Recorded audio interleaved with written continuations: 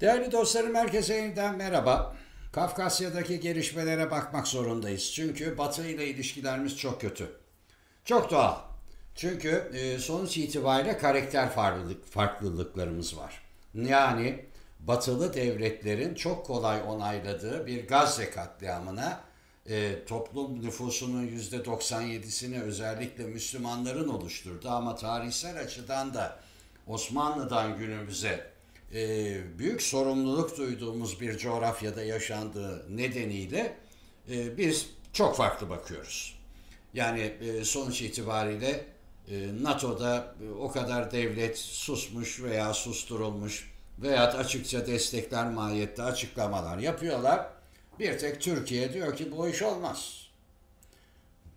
Aynı şey şey için de geçerli, Ukrayna için de geçerli. Biz Ukrayna'nın toprak bütünlüğü ve egemenliğine dönük Rusya saldırısına ve işgaline karşıyız. Kırım'ın ilhak edilmesine karşıyız. Ama sonuç itibariyle Rusya ile görüşebilen de tek devletiz NATO ülkesi olarak. Böyle bakmak lazım. O bunlar pozitif şeyler.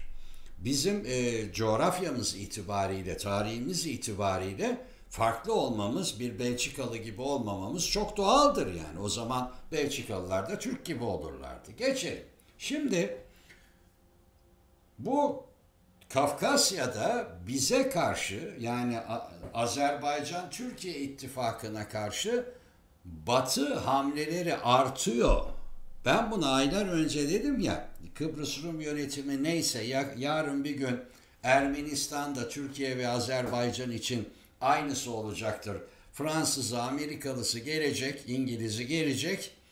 Ee, orada hakimiyeti kurduğu andan itibaren Türkiye-Azerbaycan hattını zehirlemek, Türkiye'nin ve Azerbaycan'ın Orta Asya'ya dönük politikalarını bir şekilde baltalamak ve özellikle Ermenistan'ı ikinci veya üçüncü İsrail haline getirmek için gerekeni yapacaklar dedik. İşte Amerikan senatosu oturdu sanki bu dünyada başka hiçbir sorun yokmuş gibi e, önümüzdeki iki yıl için Azerbaycan'a sağlanacak askeri desteği ambargo koydu. Aynı senato Amerikan senatosu Gazze'de öldürülen 6 bin çocuğu görmüyor.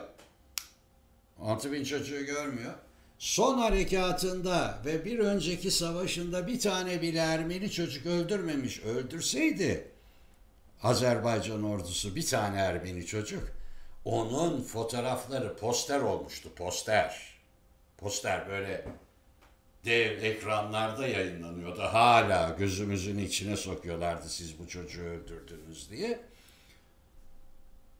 Hiçbir sivile dirhem zararı dokunmadan savaşma kabiliyetini gerçekleştirmiş Azerbaycan'a karşı ambargo koyuyor.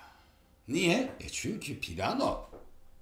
Plan Güney Kafkasya'da ben Rusya kalsın demiyorum ki giderse gitsin nereye giderse gitsin Rusya. Ama onun yerine kim gelecek? Biri gelecekse ben ona bakarım. Ben Türk'üm. Dünyaya Ankara'dan bakarım. Öyle başka coğrafyalardan bakma. Kim? Rusya mı gidiyor? O zaman gitsin tamam biz bize kalalım burada. Niye birileri geliyor? Ama Amerika ve Fransa gelmeye çalışıyor. İngiltere'de. Ee, Senatör Gary Peters tarafından hazırlanmış. iki partinin de desteği var Cumhuriyetçi. Bakın kanunun adını söylüyorum. Dün kabul edildi. Ermenistan'ın korunması kanunu 2023. Ermenistan'ın korun kimden koruyorsun ya? 32 yıl Azerbaycan toprağında işgal vardı kardeşim.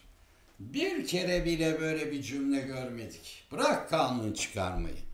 Biri çıkıp da Washington'da bir kere bile ya ayıptır ya el alemin toprağını işgal etmişsiniz demedi.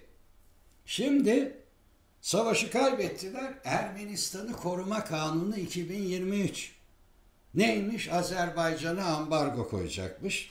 Geçen ay 91 kongre üyesi Blinken'a yazdıkları mektupta Azerbaycan'a geniş çaplı ekonomik yaptırmış. Ne suçu var Azerbaycan'ın? Azerbaycan'ın ne suçu var? İsrail gibi başkasının toprağına saldırmadı ki. Kendi toprağındaki işgali kaldırdı. Bak suçlamaya bakar mısınız ya? Bir yanda İsrail kendine ait olmayan bir toprakta katliam yapıyor ve bunu bütün Amerikan yönetimi, kongresi hepsi İsrail'in kendini savunma hakkı olarak görüyor. Azerbaycan Azerbaycan kendi toprağını kurtarıyor. Oradaki silahlı unsurlara demiş ki üstelik İlham Aliyev, Rusya'ya, Amerika'ya bakın burada patırtı çıkacak. Şu silahlı unsurları bir an önce buradan alın. Han kenti bir boşalsın gitsin bunlar demiş. Üç yıl beklemiş. Şimdi onları temizledik diye bize ekonomik yaptırım planlıyorlar. İşte Batı budur. Amerika'da budur. Herkes iyi bilsin bunları. Zaten bu işlerin başında Bob Menendez var yine o alçak herif. Bir de e, Jack Reed diye bir adam. Neyse. Ve Avrupa Komisyonu sözcüsü var. Peter Stano. Savunma ve güvenlikten diyor ki Karabağ'daki e, Karabağ'daki nüfus Avrupa Birliği'ne göre çıktı ama oradaki nüfusun Ermeni kimliği mutlaka korunmalı. Karabağ'daki Ermeni kültürel yapısı mutlaka yerli yerine oturmalı. Bu yüzden savaş ortamında orayı terk etmiş olan Ermenilerin sonsuza kadar oraya dönme hakkı ve onların malının, mülkünün korunması gerekiyor. Ne demek istiyor biliyor musunuz? Biz Rus askerini buradan sıpıttırırsak, gönderirsek, oraya uluslararası bir askeri yapı kuracağız. E Ermeni nüfus da oraya geri dönerse biz Azerbaycan'ın toprak bütünlüğü ve egemenlik alanında bir bölge oluşturacağız. Bölge, bölge oluşturacağız. Bunu ben demiyorum.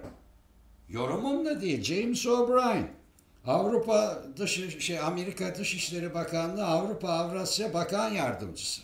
O işlerden sorumlu. Kongreye diyor ki Karabağ'daki Rus askerlerinin çıkarılması ve yerine uluslararası kimlik taşıyan bir gücün gelmesi esastır.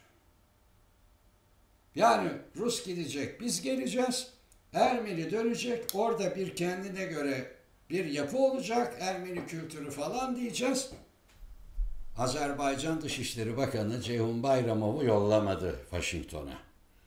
Ararat Mirzoyan ve Anthony Blinken üçlü buluşacaklardı. Artık bu kadar da suyu çıkarılmaz bir iş. Sen ara bulucuysan, bir işin ara bulucusuysan tarafsız kalmak zorundasın. Şu anda Fransa ve Amerika Birleşik Devletleri açık, seçik, net olarak artık taraf noktasındadırlar ve Ermenistan'ı desteklemektedirler. Bu arada tabii parasızlık mı desem, küresel dengeler mi desem, Avrupa Birliği'nden gelen hadi sizi de aldık, sizinle de görüşme yapacağız mesajları mı desem ne?